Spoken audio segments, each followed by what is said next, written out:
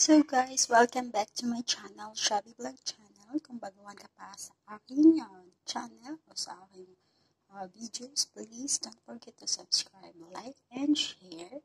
For today's video guys, gagawa tayo ng uh, Buchi uh, Ubi Halaya. Yung ubi halaya po natin guys is manggagaling doon sa mga leftover natin. Kasi di ba nag-celebrate tayo ng Christmas and magsa-celebrate tayo ng New Year. So, alam ko po lahat po tayo ay mga may leftover. So, you can make this your home and you can make also business for this. So, see ya guys and samahan niyo po ako sa ating pagluluto sa kusina ni Shabby Vlog. So guys, the first thing that we need to do is we put the sugar, one part of sugar, and then half cup of hot water. Then, tunawin lang po natin yung ating sugar.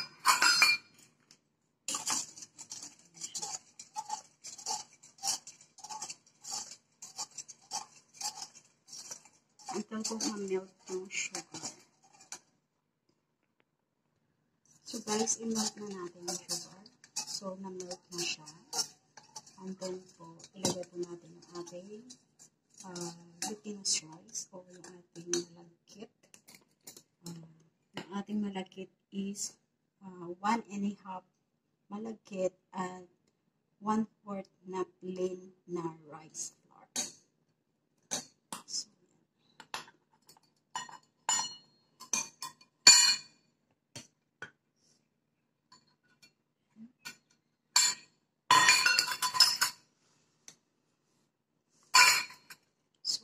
tapos guys, ihalo lang natin siya. Tapos kung hindi na po siya mahalo, haluin po natin siya ng ating kamay. Ayan, ganyan lang siya guys. Tapos, maglagay tayo ng uh, dito, oil na 2 tablespoon. So, we put the oil, 2 tablespoon. Lagyan tayo ng oil na 2 tablespoon. Yan. Tapos haluin natin ulit siya.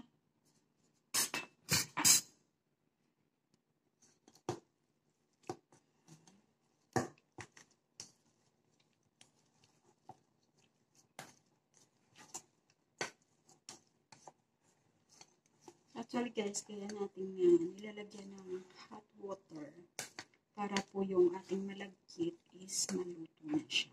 So, pag niluto natin siya mamaya, mabilis na siya lutuin. So, kasi ito yung ating uh, lutuin is ubi. So, lalagyan natin siya ng ubi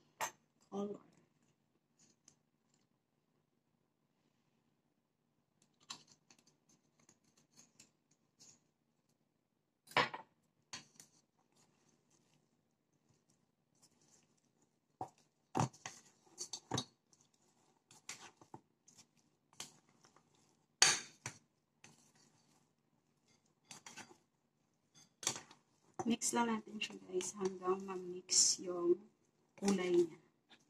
Lahat sa dough natin.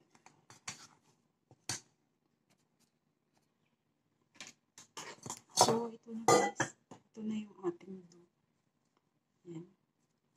Pag mamaya, pag masyado pa siyang malagkit, pwede natin siya lagyan ng konting uh, oil mamaya yung ating hands para sa paggawa natin paglagay natin ng filling. Okay? Ayan. So guys, ayan, mag-start na tayo gawin yung ating ubi, uh, ubi halaya buchi or buchi uh, ubi halaya. So, umpisahan na natin guys. Ayan, ayan tayo lalagyan. At ang ating dough at ang ating ubi halaya na leftover. So, ayan.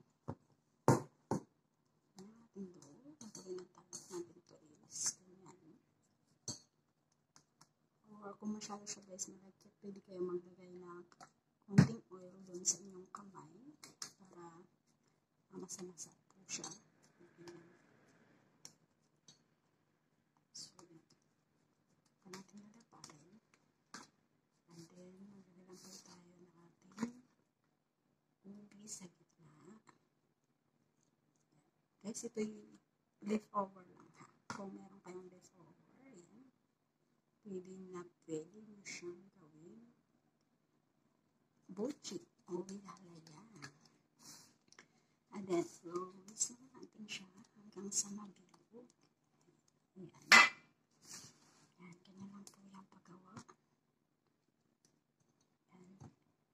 Ulit-ulitin lang po siya natin hanggang sa maubos po natin yung ating uh, dough na ginawa, syempre. Ayan. Pero masyadong malaki na. Okay lang, pero pag pang business mo po guys, swap na swap. Kaya na po mag-unchop ng uh, tawag kung ano kalaki. I think kailangan yung uh, tawag kailangan yung timbangin pag pang business. Ayan. So, ayan. Ito po guys ay ano lang leftover. So, hindi po mawawaste ang inyong huli halaya. Siyempre, kung parang wala nang kakain, ayan lang gawin nyo guys. Ayan.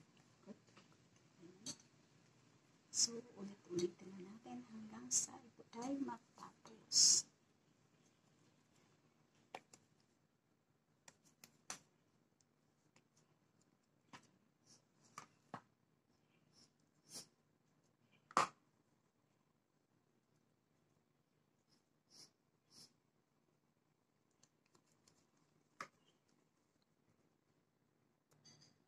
So, this last piece. Ganyan na lang. Hindi pa pala last piece. Isa pa pala. Tapos maglagay lang na ubi sa gitna.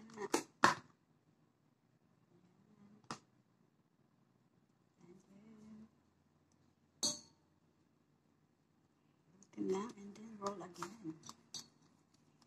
Roll natin siya para pumilo. Kailangan po guys maganda yung pagkagawa ng dough nyo para hindi siya mabiyak-biyak.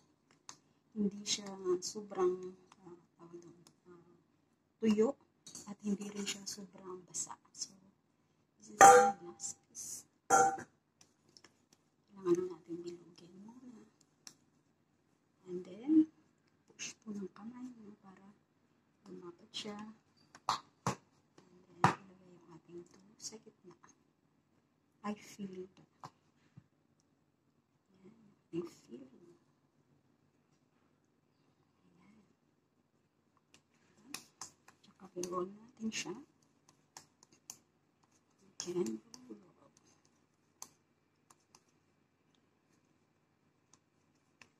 Now, umilog. So, after that guys, nakawin na naman yung ating uh, sesame seeds.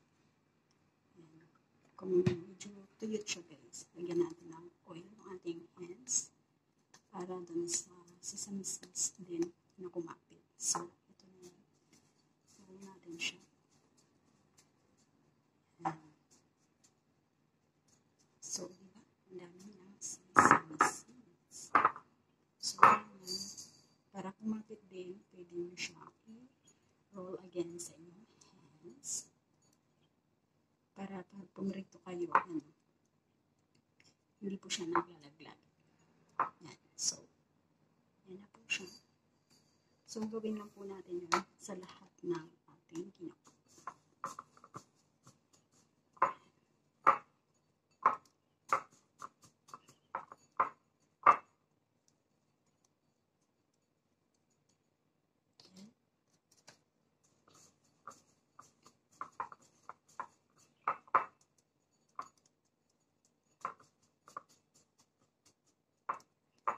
Hanggang po, gawin lang po natin to hanggang sa lahat po ay malagyan natin ng sesame seeds. So guys, ayun na. Ito na yung ating last piece. So, nalagyan na natin siya lahat. So, ito na yun. So, after nito guys, ang na natin eh, syempre, handa na natin yung ating kawali or uh, depende po sa inyo kung anong comfortable po kayo na pang lulutuan. So, let's go! So guys, ihanda lang natin yung ating paglulutuan. natin yung ating fire. And then, magdagalan po tayo ng mantika.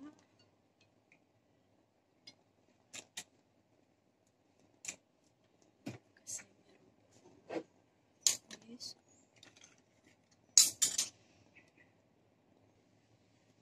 So guys, hintayin lang natin yung ating mantika na uminit. Pagkatapos nyan, saka natin po ilagay yung ating uh, pochi na ginawa.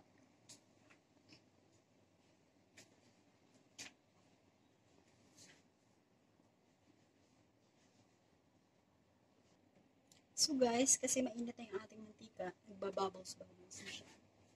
Pwede na natin ilagay yung ating uh, ginawa pochi. So, yan.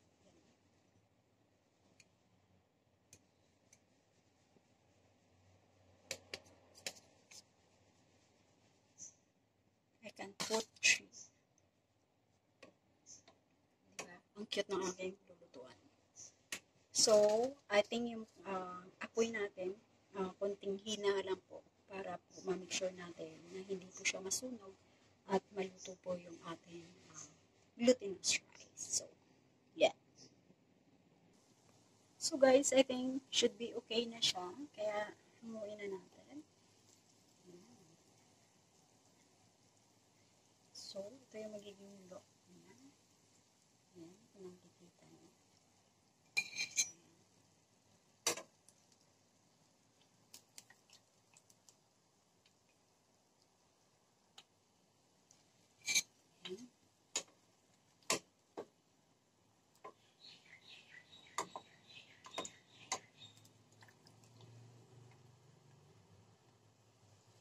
Guys. So, after that, continue lang po natin hanggang sa matapos syempre yung ating niluluto.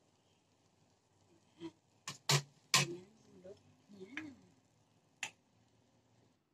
So guys, ito na yung ating uh, nalutong uh, butchi ubi halaya. So, we want to see how crispy is it. Crispy in the outside. Did you hear that sound? Yan. So, the inside one. Wow. So yummy. So, we try this one. Slay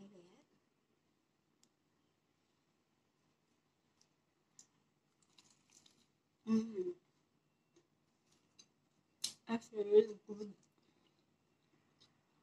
This is the one. Well, guys, if you want to try this at home and you want to make business for this, it's a very good idea. So, I think I want you to try or you want to try at home. That's very nice if you have um, leftover obi halaya. So guys, thank you for watching once again from Shabby blog Thank you, thank you so much for watching and see you in my next vlog. Bye bye bye. Love, love, love from Shabby Vlog.